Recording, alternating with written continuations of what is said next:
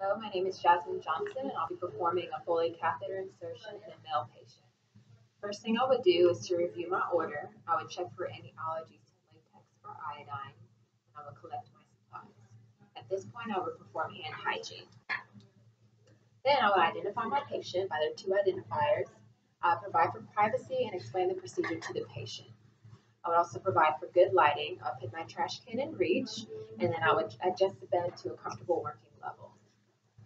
I would also make sure that my client is positioned on his back, and then I would drape just the area that I'm going to be working on.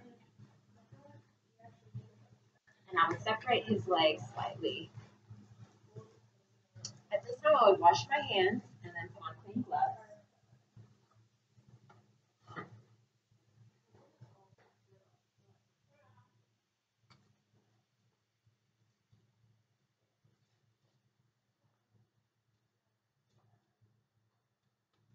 And then I would clean the perineum.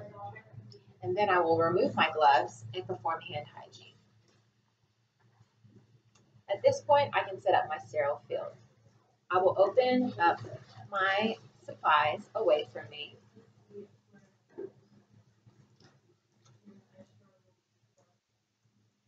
I will take my blue drape,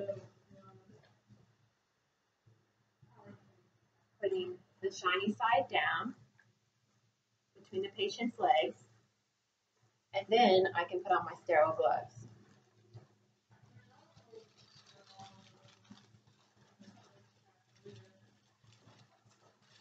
The first glove I will only touch on the inside.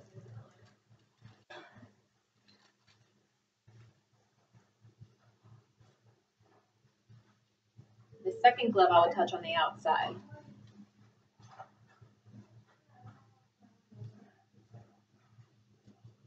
And then I will discard my glove package in the regular trash can. At this point, I can move my catheter supplies onto the blue drape.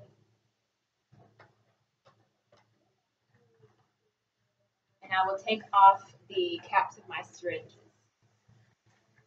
I will also attach my water syringe to the balloon port on the catheter.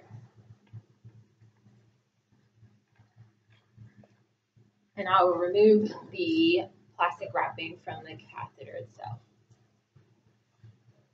Then I will take my um, iodine and I will pour it on my cotton balls and discard. I will grab the penis with my non-dominant hand, retract the foreskin, and then I will clean three times with each cotton ball. And then discard.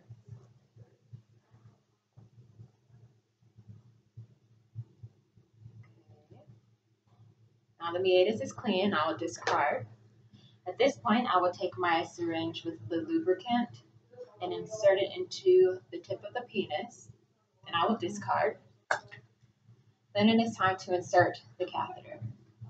While inserting the catheter, I'll have my patient take deep breaths, and I will insert all the way to the Y bifurcation.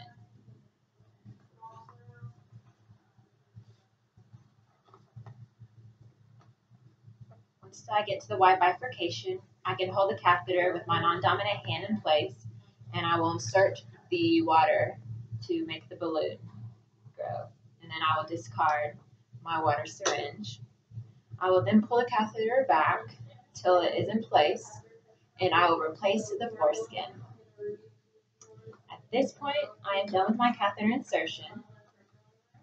I can attach the catheter tube to the leg and then I will hang my catheter bag to the side of the bed in a place where it won't be moved.